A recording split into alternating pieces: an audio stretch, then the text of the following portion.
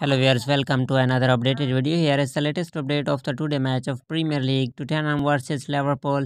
Here is the first goal of the Tottenham at the 13th minutes and this time goal coming from the Harry Kane and goal assisted by Ndombele at this time. The striker of Tottenham, Harry Kane, got the first goal for the team and lead by one goal.